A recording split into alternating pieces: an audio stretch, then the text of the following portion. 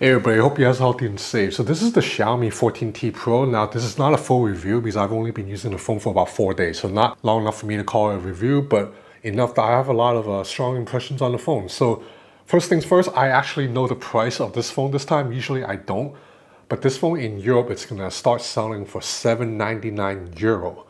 Now in Asia, it's to be a little bit lower than that, like because your prices are always a little bit higher. So I'm assuming in Hong Kong, Singapore, Malaysia, Thailand, you can probably find it for maybe like the 700 US dollars, 650 US dollars range. And for that, you're getting a 6.8 inch OLED display, 144 hertz refresh rate. It's a completely flat panel, which a lot of you guys like. And the overall design has that kind of boxy design that I guess a lot of us associate with iPhones and Google Pixel also kind of followed. So it's a flat aluminum alloy frame and it feels very sturdy in the hand. In fact, with this new Titan gray color on the back, this is a glass panel on the back, but it's painted to look like metal. So when I first got this phone, I thought it was a one-piece unibody aluminum phone, just like the phones we used to get in 2015. But no, this is glass back, so it supports wireless charging, but the in-hand feel feels very premium. It feels like an all-metal phone. It's like a throwback to devices that we used to use back in 2014, 2015. Powering the phone, it's a MediaTek Dimensity 9300 Plus. So it's a little bit older chip. The new one is coming just around the corner, but this is still a flagship performer. On top of that, you get full access to Google's suite of AI features. So this includes generative AI photo editing, circle to search, so that feature that was previously exclusive to Samsung is now here.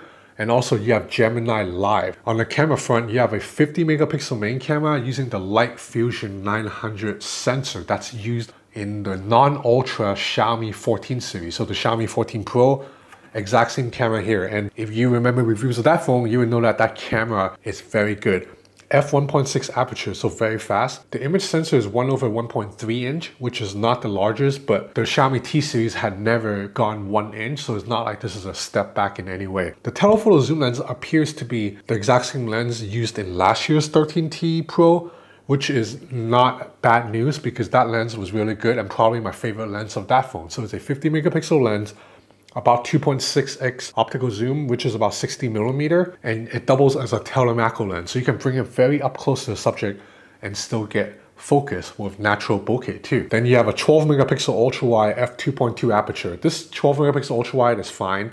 It definitely falls short of the best ultra wide cameras out there, but it's you know it's not bad, it's not great.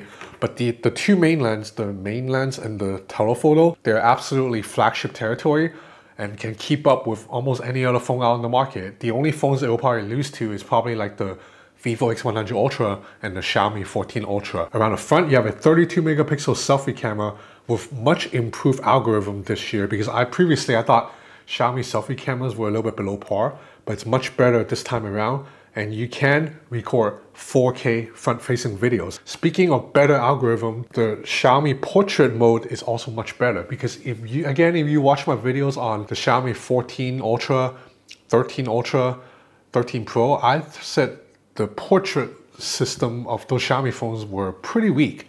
Like I actually didn't want to use it, I wanted to shoot with just normal mode but the portraits here are much improved. Edge detection is much better. Part of the reason is because this phone has Xiaomi's latest ISP, which Xiaomi calls AISP, because it's an image signal processor that can run large language AI models, including one language model specifically for portraits, another model specifically for tone and the results are really good looking portraits as you can see here. I think right now of all the phone brands, Xiaomi and Vivo are doing the best damn job in terms of portrait photography. They can be a lot more realistic than the overly digital portraits captured by the Google Pixel, for example. There's also a lot of fun film simulation that you can play with that simulates the effects of black and white photography or a retro film camera. It's very fun to play with. It's just a more interesting and diverse portrait system than what Google or Samsung is giving us these days.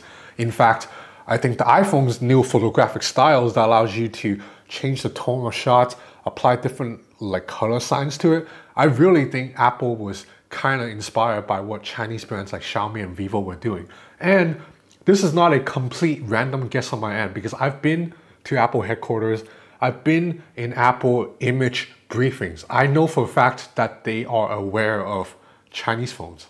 Like trust me, they know. It's inside Apple headquarters, they're not just comparing against Samsung and Google. This new ISP also has a much faster shutter. Xiaomi says it's 1.6 times faster than last year's 13T Pro phones. So as you can see here, I'm taking a picture of a moving train and every shot is clean and crisp.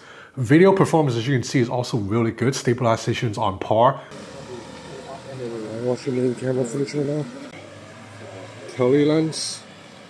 Not bad, man. Not bad, not bad. Ultra wide. Yeah, the ultra wide is very soft. Main camera looks good. Zoom lens.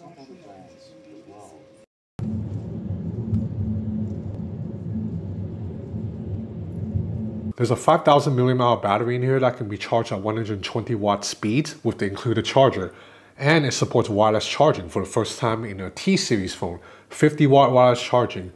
Um, this is not a full review, so I can't give you full gauge of battery life because I have been using this phone alongside a couple of other phones. I haven't fully, just heavily used this phone all day outside yet. So I cannot say whether battery life is excellent or below par, but I think 5000 milliamp cell using Xiaomi's typical HyperOS software. I think it's going to be pretty solid battery life, but I'll come back around to that later. This is not a full review. As for performance, like I said, even though this chip is one year old and it's on 4 nanometer architecture, it's still every bit as powerful as most phone chips out on the market. The thermals have also been quite improved because I ran a 20 minute wildlife extreme stress test and this phone passed with pretty respectable stability and not all Xiaomi phones can pass that test. For example, the Xiaomi Mix Flip, which I also reviewed, failed that test. There's also IP68 for water and dust resistance here. So overall, my early impressions of the 14T Pro is very positive. I love this construction and hardware. This phone looks and feels very premium. It looks like an all metal unibody phone. I also like this power button with um, extra texture on the outside so you can differentiate between the button and the volume rockers something that maybe Google should take note. And also the button's very clicky and a little bit more tactile than many other phones that I've used. The hardware is pretty much impeccable, especially considering that this phone starts at 800 euro in Europe and probably a little bit less than that in Asia. So this is the Xiaomi 14T Pro. I will be back with a longer review, maybe some camera comparisons against other phones. I have a lot more coming this month. It's, it's very busy, man, so please stay tuned. Thanks for watching.